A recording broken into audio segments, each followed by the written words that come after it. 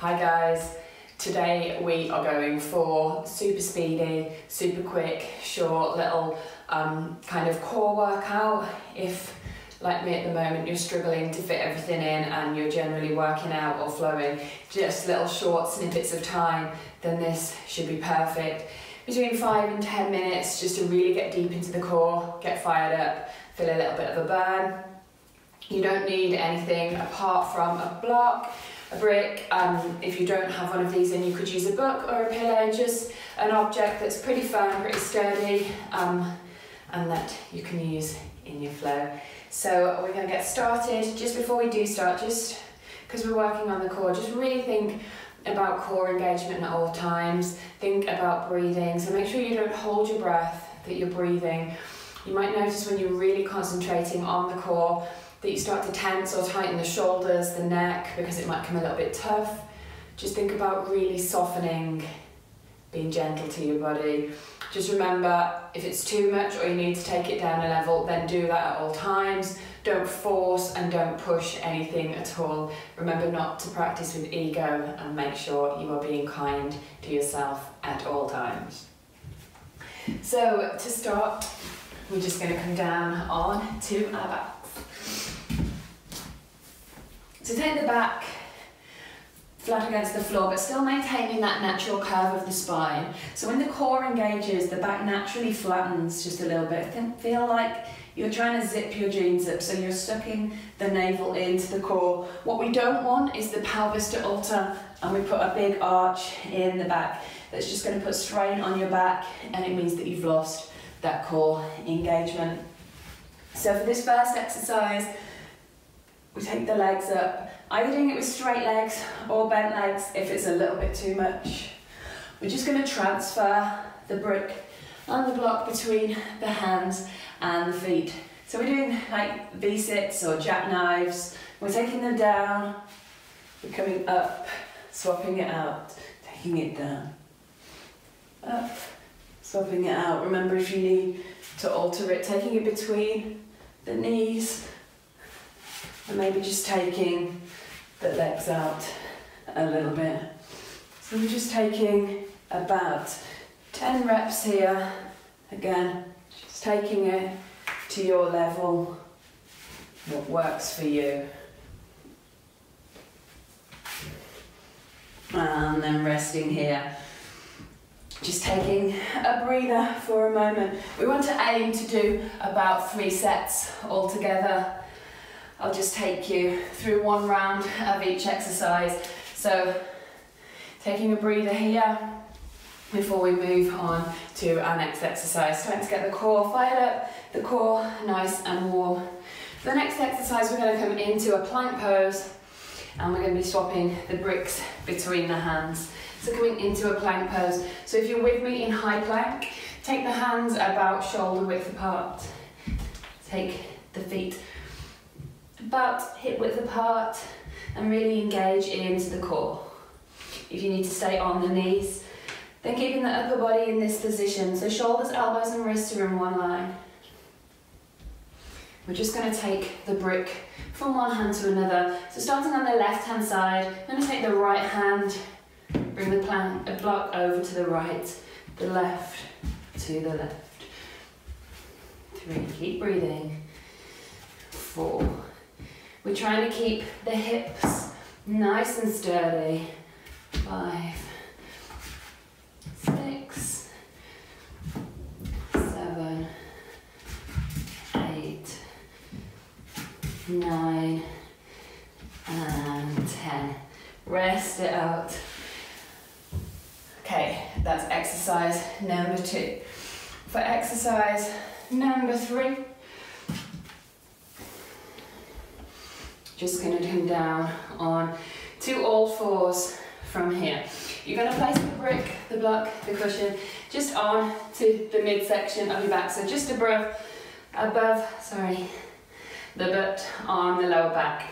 So starting in your tabletop position, we're going to press into the hands, press into the feet. We're just going to start to hover the knees away from the floor. The reason we put the block on the lower back is just to maintain a nice straight natural spine. If you start rounding up or if you start tilting over at the hips, You're going to lose that block. If you do lose that block, just place it back on, just start again. So pressing into the hands and feet. We inhale, lift. We exhale, lower. Inhale, lift a little bit higher. Exhale, lower. Inhale, lift, we hold for five, for four, for three, for two, for one, and lower. Do that again, so inhale, lift. Exhale, lower. Inhale, lift. Exhale, lower. One more time, inhale, lift for five, for four, for three, for two, for one, and release.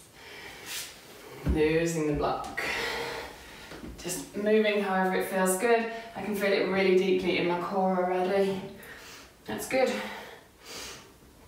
Okay, for the next exercise, we're going to come in to some side plank dips. So, you have the option to come down onto the knees or to come and stay on the toes, sorry, on the feet. If you're on the feet, just stacking one foot in front of the other. If we need to come down onto the bottom knee, then just staying here.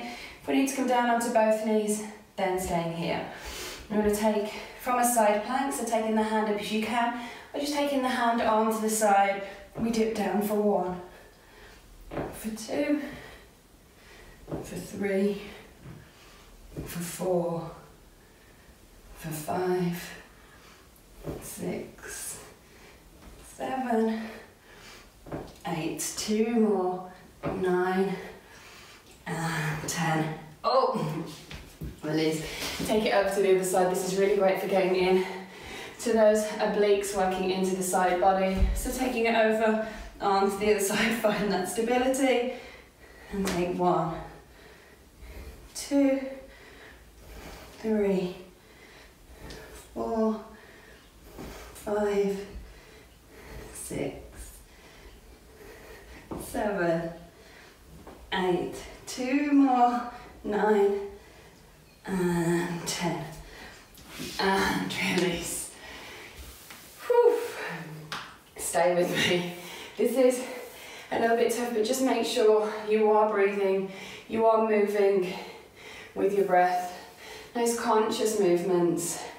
Okay, we can now come in to our boat pose. So there's an option here to use the block, just to place the seat on it, just to add that little bit of instability, or you can stay flat on the floor without the block of the brick, the book. It's entirely up to you, but we'll show you on the block. So coming into your boat pose, you have options here. You can take the hands down by the sides, place the hands behind the legs, or you can take the hands straight out in front. So whatever level you need to take. We're keeping the chest and the shoulders nice and open, trying to keep the spine as long as we can. So trying to bring the chest and the thighs as close as we can to each other, trying to prevent the roll of the shoulders, but really take the shoulders open. So finding that boat pose.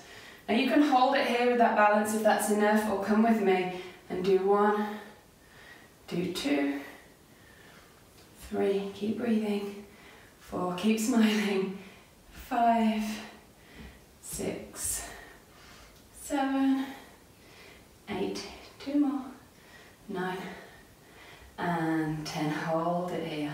Three, two, and one. Releasing the.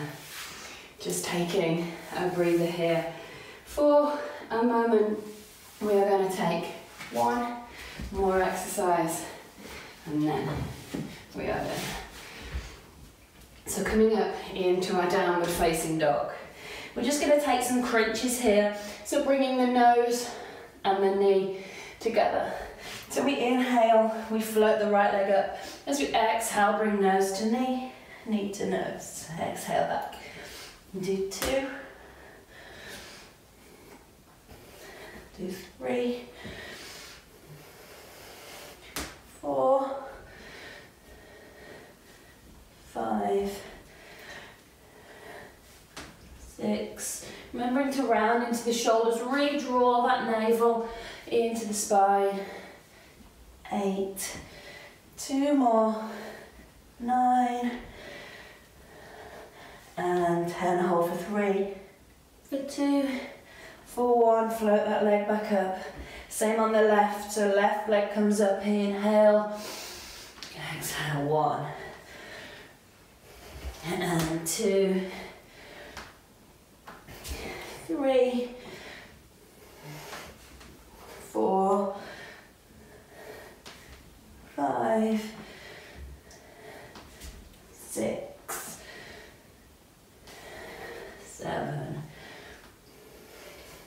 Eight. Two more. Nine. And ten. Hold for three. For two. For one. And release. Drop down onto the knees. Cross over at the ankles. Come over on to your back. Bring the knees into the chest. Give yourself a big hug. Squeeze everything in. Rocking from side to side. If that feels good. Now that is enough of a workout on its own. Short and snappy, you can do it in just a few minutes. If you did want to make it into a bit of a longer workout, like I said, then maybe aim to three for three to four rounds. I'm out of breath just by doing that one.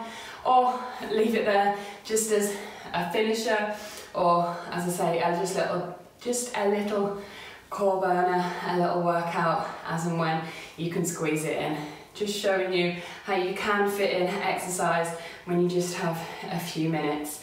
So please remember to be kind to yourself, to listen to your body and just to flow with no ego, with no preconceptions and practice that self-kindness. Thank you so much for watching. If you liked it, then give me a thumbs up down below and subscribe. And I will see you soon. Thank you so much. Namaste.